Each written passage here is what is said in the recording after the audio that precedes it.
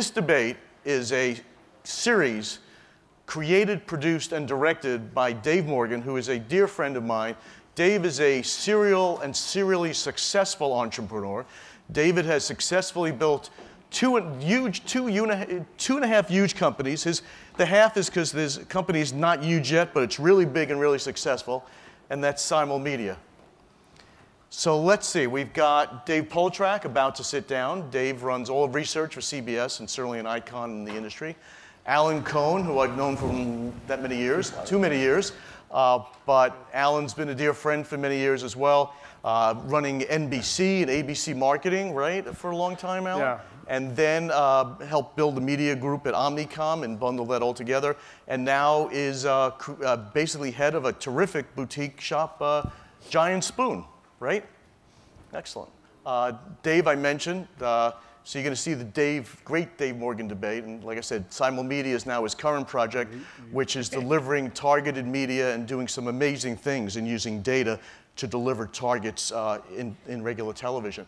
And then Kris Magel. Uh, uh, Kris is a terrific guy, also a long-term friend who controls much of uh, America's media now.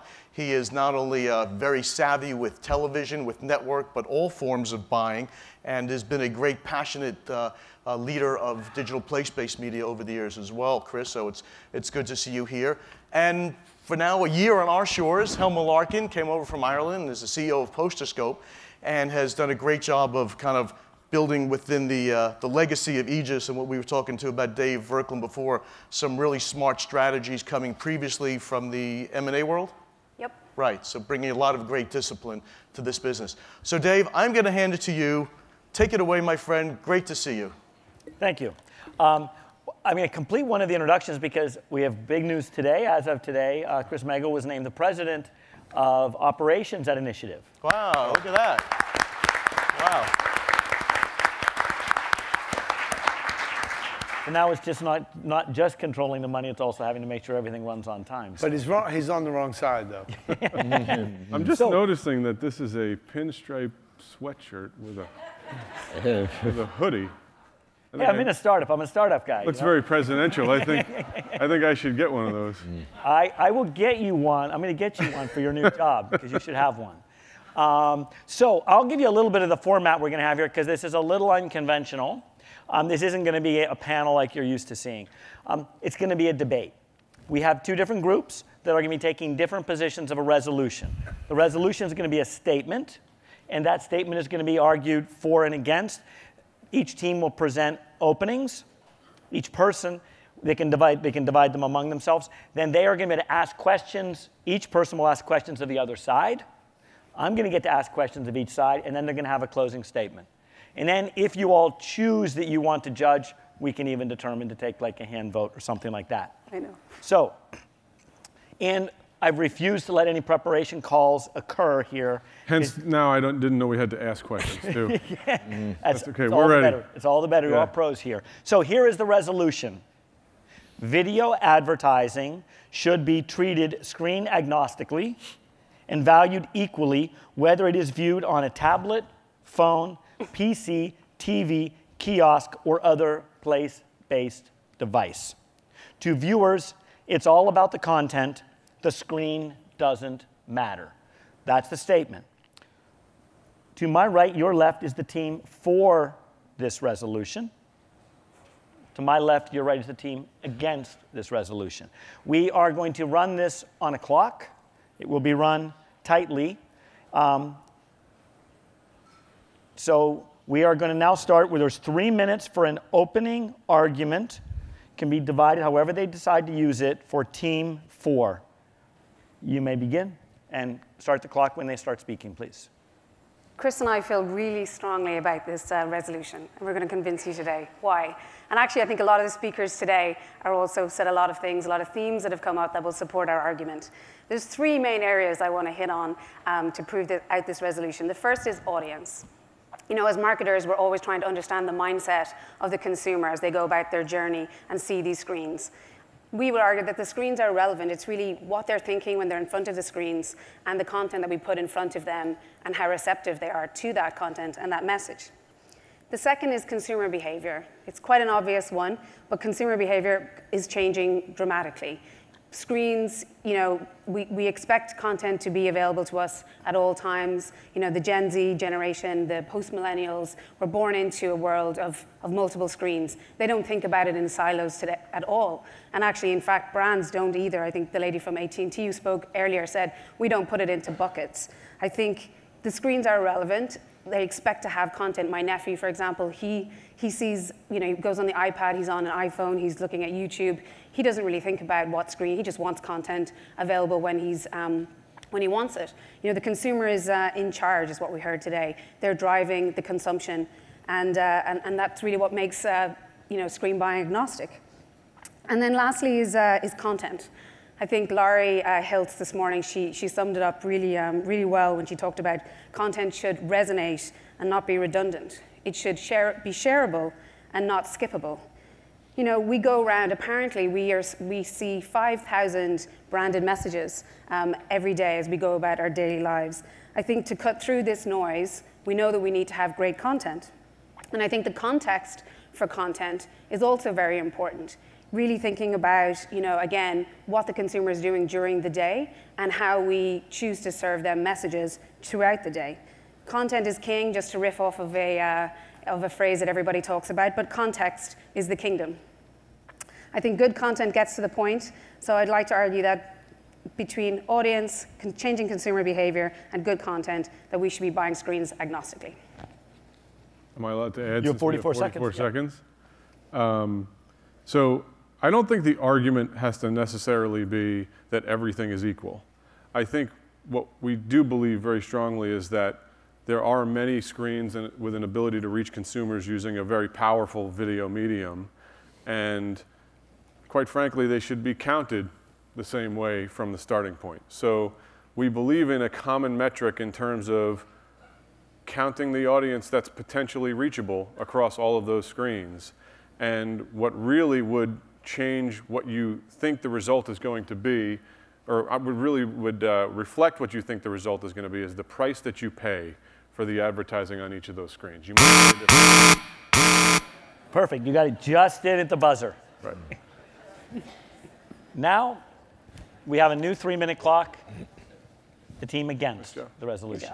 Do you want to start? I'll start, yeah. So, uh, so I, I, think we have to focus exactly on what the resolution says and, the, and decide how we're going to define it because the, the, the screen being agnostic, okay, so the idea is that the, are we talking about the pixels, the size, uh, or are we talking about the screen in the context in which it is used? Uh, because you can't really separate a screen from a context, from its context. A person viewing something on a mobile phone is in a totally different mindset from somebody that's doing it on a television set. Uh, the, the whole concept, uh, we communicate uh, programmers and advertisers communicate through uh, sound and, and video. Uh, the relationship between audio and video is a key part of the communication. Uh, how audio and video mix on a screen is, is dra dramatically different from the different experiences with those screens. And the third area is, is a contextual area, is, is the concept of borrowed interest because the idea, the screen doesn't begin to work, the, the, the screen has to be in a context that will get people's attention. And the unique thing in television, you have the borrowed, you have content delivering people to the advertising content. In other forms like place-based media, the, the content is, has to draw the people there on its own who are passing by or, or whatever the context is. So context is critical, but I think the most important element is uh, to understand that the screen cannot be separated from the actual viewing experience. I would just add to that, you know, we live by this formula, which it's not because I am fat, but it's called the FAT formula, which is format, audience, and timing. And I think that you, you know, the, David talked about the mindset. You, it is a different mindset. Also, I think the content that is created for the different platforms leads me to think that how could it ever be that a Snapchat video would look good in a movie theater or, or, or, on a TV screen? I just, I don't, I can't imagine it. But, um, but I feel like, you, you know, when you're doing this work, you've got to think about, from an advertiser perspective, who's going to create the campaign. And I'm all for the measurement of all the different areas, like Kris talked about, but, and I, and I know that the consumer is in many different places. However, I think you really have to consider the mindset and the, the actual tolerance of the, of the person to be able to sit there through the ad. Okay. Just reminds people it's always there. so, Helma, you have one minute, and you can use this minute either for one or more questions, which you can direct to a specific panelist or to make a statement. And then they're going to have two minutes for answers to those um, and, and rebuttal. No, I've never been to Ireland. It's not the question. I asked you that already backstage. I don't think we're debating that we, that we would use the same piece of content for each screen. I don't, I don't think that's what we're debating. So I don't think that a piece of Snapchat content would, would look good on TV or in the cinema. I think we're debating that the consumer would absorb the content or the theme or the, the problem that the brand is trying to solve um, equally if it's designed in the right way and if the content is created for that screen. Would, would you agree with that? I would say that probably no, because I think that you have to create content that is contextual.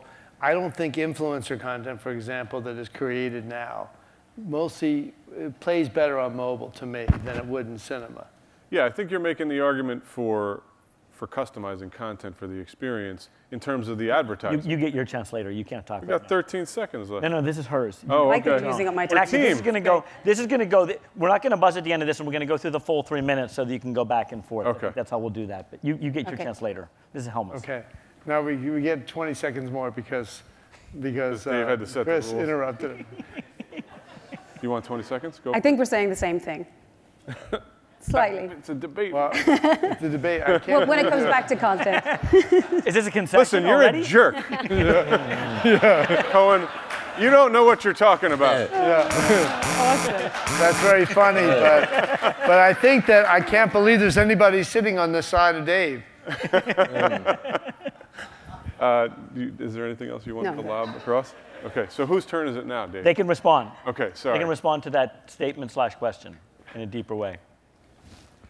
Well, I, mean, I, I, look, I agree that the way the resolution is, is worded, that we are talking about a, we- we're talking about the screen itself.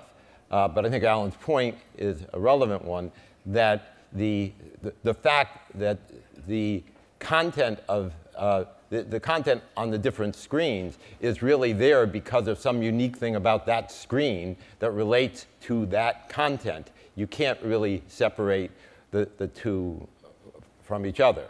Uh, the, the element, the whole element of, of, of the screen itself, like for one just huge factor, 43% of all television viewing is done co-viewing. There's another person with you. Almost all mo- mobile phone viewing and place-based viewing to a certain extent, but certainly mobile phone viewing uh, is done in isolation and not with an individual.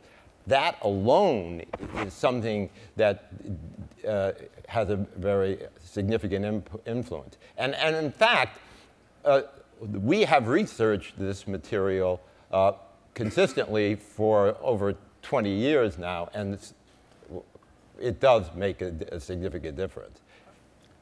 Well, I have three seconds. Uh, Go I for it. have no time. no.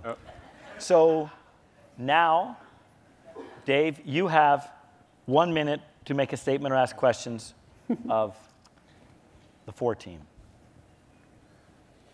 Well, I guess the, the, question, I, the question I would ask is that uh, if, you, if you were a producer of a television program, because this is a real thing I deal with all the time, and I, were and I was going to test that program to decide, using my testing, whether or not we put that program on the schedule, would you not care what screen that program is tested on?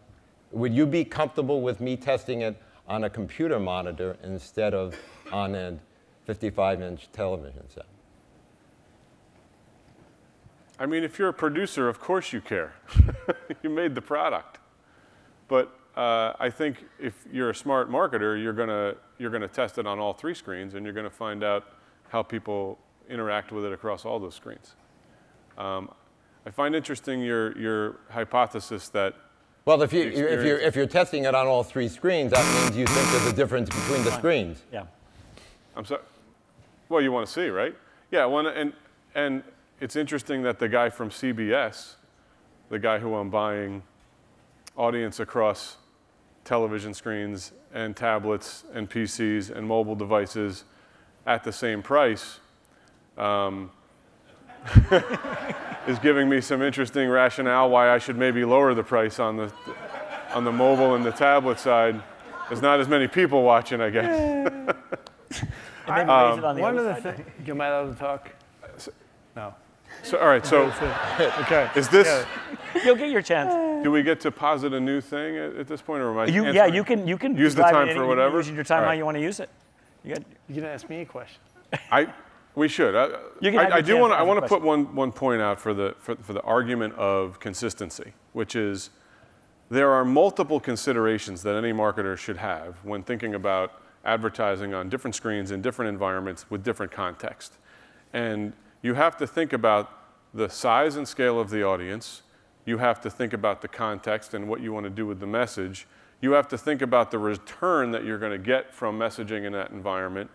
And you have to think about the demand on that particular asset because something might be more effective from a return on investment standpoint or a return on impression standpoint, but you might not have to pay as- much for it because there's less demand on it from other marketers.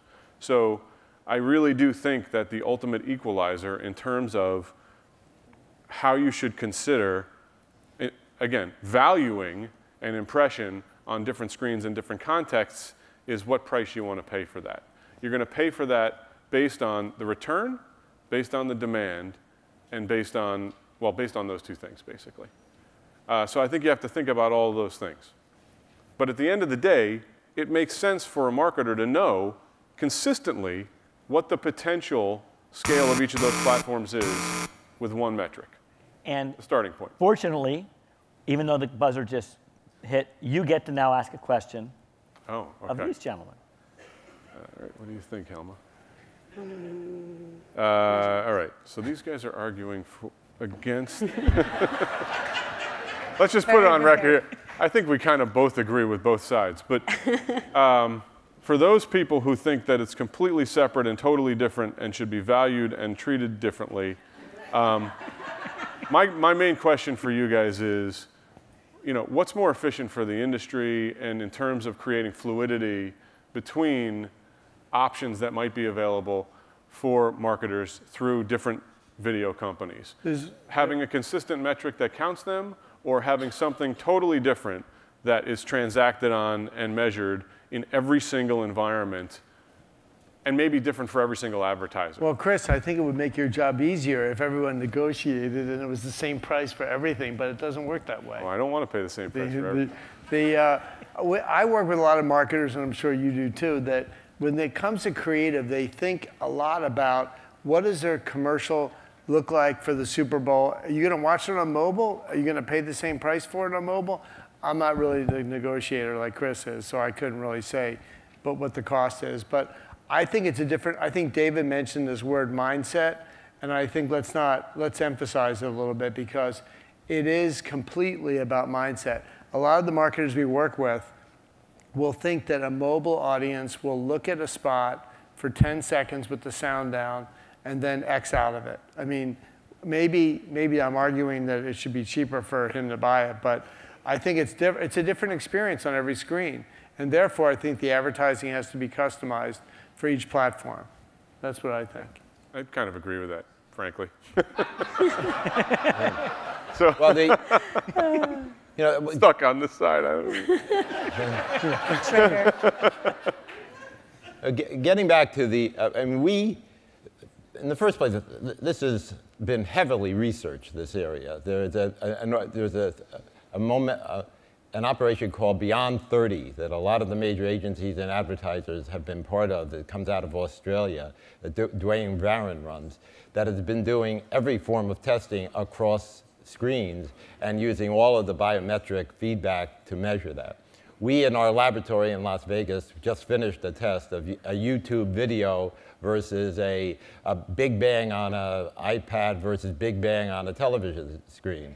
And I can tell you there are significant differences.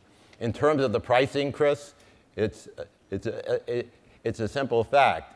Uh, they have, uh, we believe that the values of our television advertising space are different from the values of our mobile advertising space. We believe they have complementary benefits, uh, and that th- those benefits determine the premium price we pay on, pays on both of them. I know, but you So- just said before that there's no You're, group you're gonna on have your, you're gonna have your chances yet. Alan, this is your chance Ah. to ask Ask any questions question? of Okay. these two. So I'll I'll ask a question. Do you, um, besides negotiating, do you really believe that the consumer is, when, they, when they're on mobile, or like I, last night I went to the Man in the High Castle screening, it's an Amazon show. It was the first time I saw it not on my tablet. So when I looked at the show, it looked completely different. I saw things I didn't see before. But are you arguing that, that it's the same experience for the consumer on all these platforms? For the advertiser, that they should make content once and it should be placed in all these platforms? No. No, frankly, we're not making that argument. We, we were on the side, we sort of had to, but we wouldn't make that argument. Okay, so what I mean, argument I- are you I'm- making? I think Professional, I can't say that we're making that argument. well, we've got to come back to how people are using screens and what mindset they're in as they go along. You know, lots of people download things and watch them on the way to work on their on their phone to kind of finish up something they're watching um, the night before. Or in the morning time, if you're searching for something, you're probably looking for you know information, scores of the game, or weather, etc. And there's different types of content you'd probably be more receptive to at that time of the day. So I think it's the use of the screens and coming back to the consumer and how receptive they are to the content. I think come, keep coming back to the content, which is the most important. And I would just add, I, the case we're making is a simple one, which is that um, there should be a pretty common counting metric for, for any kind of uh, screen video experience. It, it, doesn't, uh, it doesn't mean you shouldn't customize the content for the experience. You absolutely should customize the content for the experience to drive the best return on the investment you're making. Um, that, that contextual placement is going to make it, it's going to make it work better. Uh, I would say that if you are, you know, if you're taking a long form programming strategy, uh, I, I think that the difference in the experience between the tablet and the PC and the television screen are, they, there are differences there, but I actually don't see a, a huge issue with looking, that at, looking at that experience as pretty equal in terms of the advertising format, just because, because the program isn't being presented in a very different way, and the commercial breaks aren't being presented in a different way. I don't want to complicate things, but as we move more toward advertising as content and all the marketers that really want to create their own content and using influencers, maybe that's fading a little bit, but using influencer content, I just don't think it looks that good for the other platforms. But you would disagree with that? Like, like the, the mm, putting that content on the other platforms? We're not going to put a 30 second commercial on Snapchat if that's what you're asking. I'm not, but that's good to know. Oh, okay. Yeah. Repurpose the 30s on Snapchat. That's the move right there. Bad Not like we've ever, ever done that before, I- right? uh, yeah, that would be a mistake, I, I definitely believe. But Um, Snapchat, I mean, is unique in its own right because they have a vertical format when you want to create content for it. I think everything And- has u- unique, uh, you know. But you would never think about watching a environment Snapchat- and experience, they're different. But in You terms never of think understanding the scale of those platforms, theater. look, I just think there should be a. I do think I feel very strongly there should be a consistent metric that you know Facebook is going to publish that they've got billions of views, Mm-hmm. and a TV network is going to publish that they've got billions of views. That we're all talking the same language. Now it's my turn. So I'm going to be asking a question of the for team, make a sort of statement question, and I'll be doing one for the against team.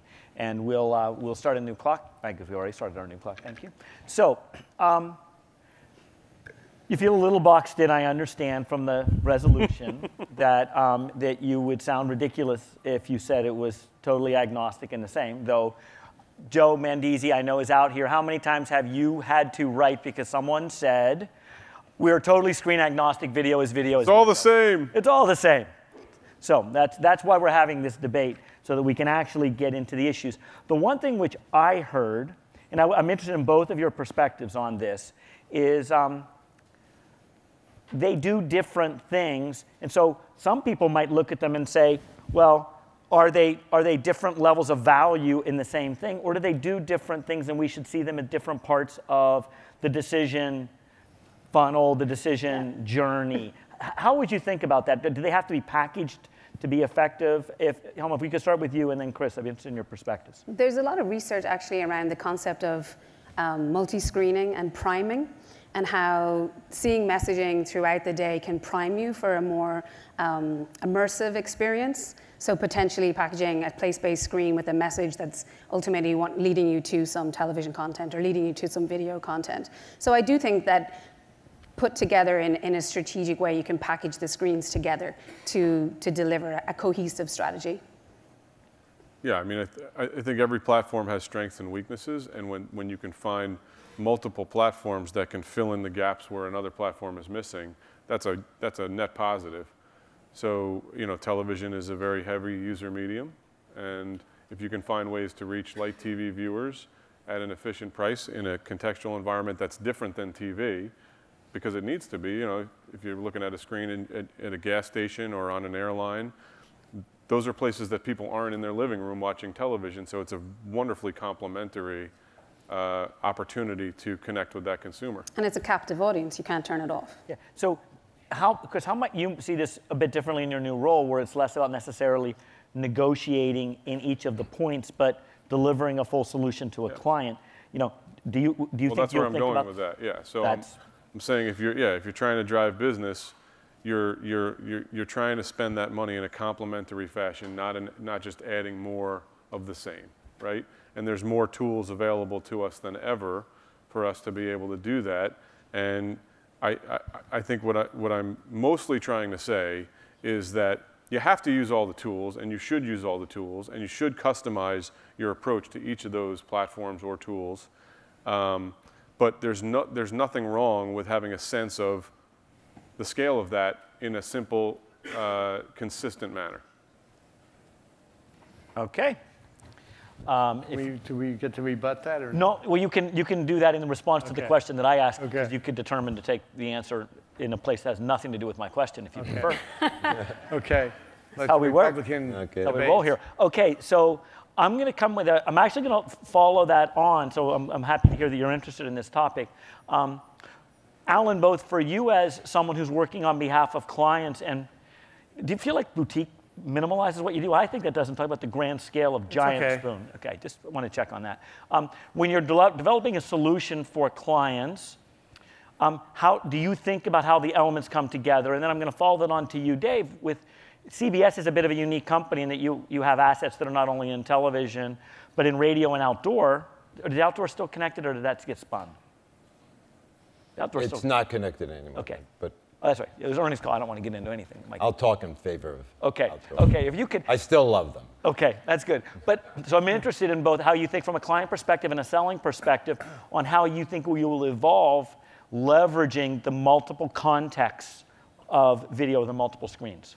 I mean, I guess I would start by saying that if you look at a company, if, I don't want to get too granular too quickly, but if you look at like a Coca-Cola, what they create for the cinema experience is not what they would create for their mobile experience. They would recognize the audience might be, the mindset of the audience might be a little different, even if the experience itself is different.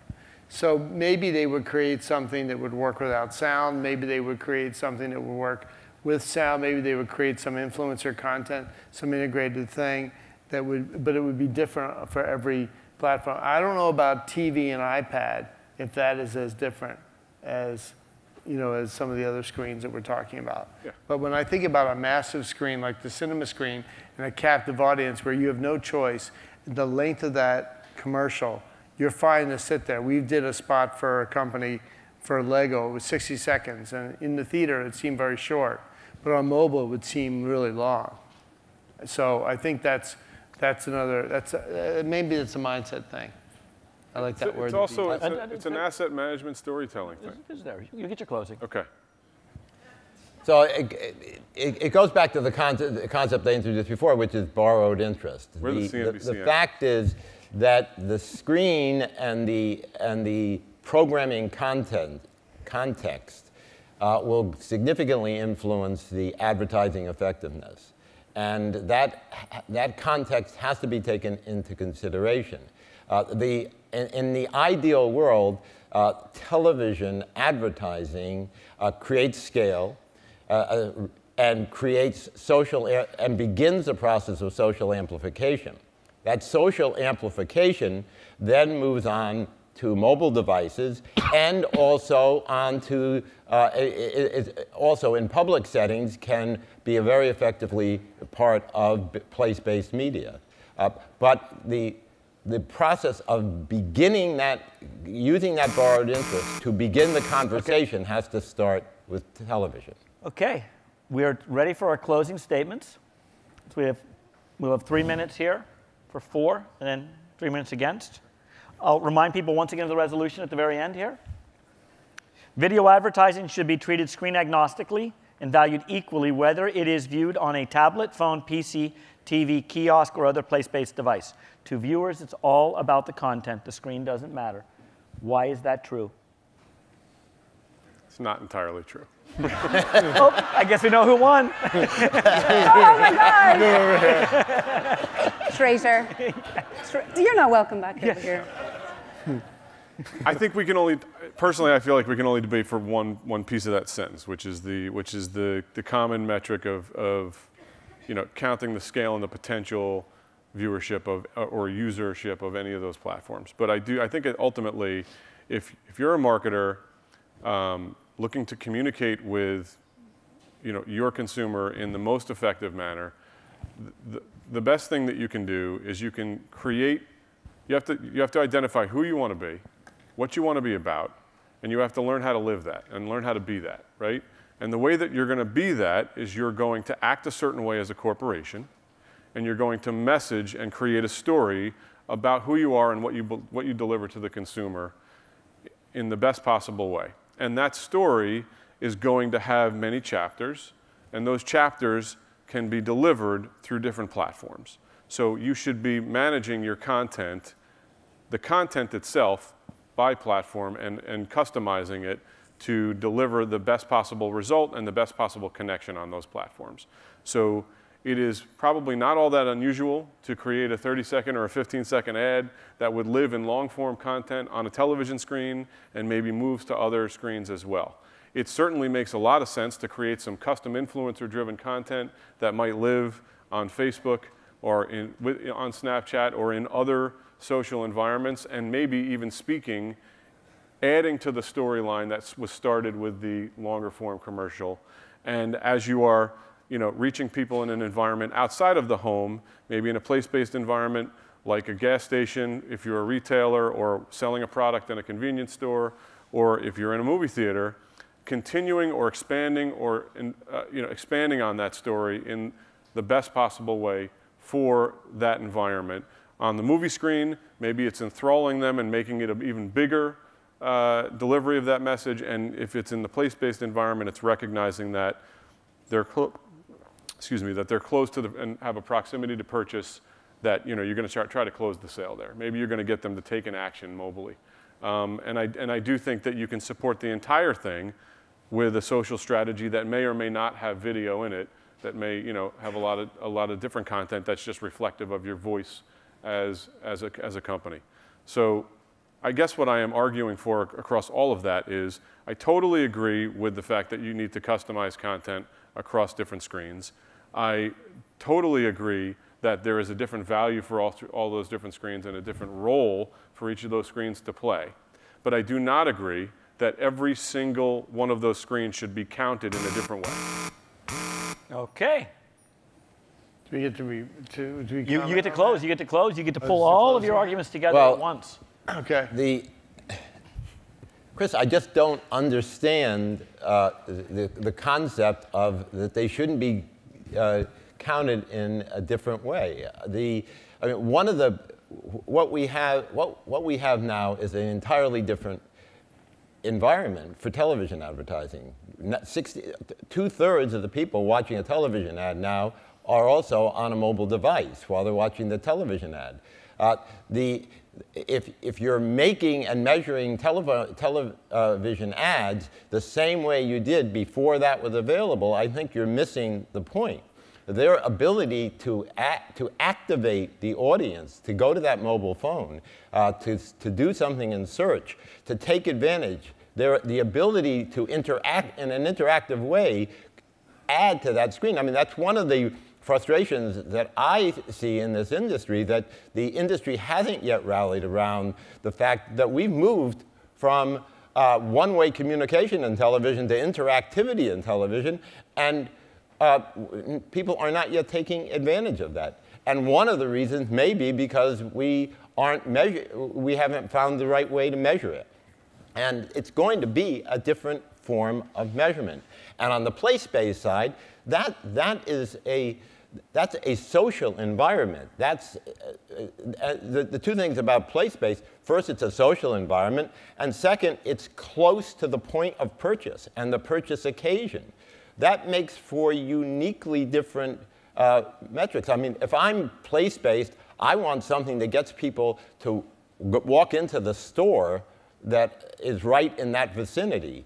That's a different messaging and a different approach than, some, than a television uh, campaign that's designed to actually create brand equity, long-term brand equity for a product. The measures are quite different, and the, go the goals are different, and the measures have to be different. So I think in the interactivity comment that David was talking about, that I don't know whether or not it really took off as big as we had hoped, mm -hmm. but I still feel like our mission with marketers is to kind of create this breakthrough and to create content that is for a specific screen that might do something to get noticed. There is so much advertising out there, there's so much content out there, that how do you break through and how do you customize content to do it? So I would argue that you need to kind of be thinking about the screen, let alone all the new technologies that we focus on at our company, but you need to think about that screen. I can't comment about how it's bought and sold. That's really Kris's job or his old job. Um, but, uh, but I feel like um, you know, you really have to create that breakthrough. Okay, so um, first, they've been extraordinary sports for like dealing with the resolution. It was hard on both sides, but um, in, in, spite of the fact they've been amazing sports, we are going to have winners and losers here because that's how the world works sometimes. So we're going to do this by, by applause. So first, I'm going to ask for applause for the for, and then I'm going to ask for applause for the against and then Barry is going to determine either accurately or arbitrarily, and it's up to him who won. Yeah. So, He's going to say Dave won. applause for the for team. Come on, come on, come on, come on. Uh-oh. We got about halfway. I know. Applause for the against team. Come on, let's go. A little louder. Well, I, I, think it's pretty clear that the for team, congratulations, wow. Helma and Kris, well done. In spite of him almost like changing sides. Yeah. but some great sports, by the way. And the real winner, of course, are these folks and Dave Morgan. Dave, by the way, the reason he's so good at this is not that he's a terrific and bright guy, but he's also a lawyer by training. So he's really got a lot of good experience. I think also, compared to a lot of the political debates going on now, you've done a much better job than all of them. I think it's really well done. He's way, he should be on CNBC. It's fabulous, it's great. Uh, congratulations to Kris Magel. Uh, what's your new title? Uh, President Initiative. President of Start, Initiative, isn't starting that, in January. It's starting in January. Isn't that, isn't that fabulous? David, were you swayed at all? Do you have a kind of a sense of what you're thinking? Well, I wasn't appreciating until the discussion. I was thinking it as a value-weighted conversation, and I really came away thinking a lot more it's an integrated discussion. Mm -hmm. And that's the place where the industry has to move it to. And it's sort of silly that people are all running around saying everything is video agnostic. They're not talking about what's the marketing solution and how do the pieces come together. And I think we heard that from both sides. That was the piece that hit me, and it's going to have to be both much more creative in how it's bought and sold. Um, and created um, for it to come together, but That, that's, that's really, I think you're right. That's really interesting. Uh, do you, David? do- You've been doing a lot of things here. Do you think that the the systems and the buy side and the sell side are are in place to uh, affect that nuance? absolutely not. Okay, right. No, I mean, I think it's going to be created by the market participants. I think that people are going to have to step up. I mean, I think Dave made a really good point. We do not have the measurements and metrics today we need to value these things going forward. And we're going to have to have created solutions that, that leverage the mobile device in someone's hand when they're watching something on TV or going by a place based kiosk in a mall. Mm-hmm. And we're going to have to have people that are buying or organizations that are building it together that are going to be able to value that and negotiate and deliver it for the clients. And th- they don't exist today, but we'll have some people doing it, and I think then, you know, people will copy or they'll get out of the business. I think that's a great way to sum it up. David, Kris, Helma, Alan, and Dave. Thank you all so much. Let's give them a big hand. Thanks so much. Well done. Great stuff.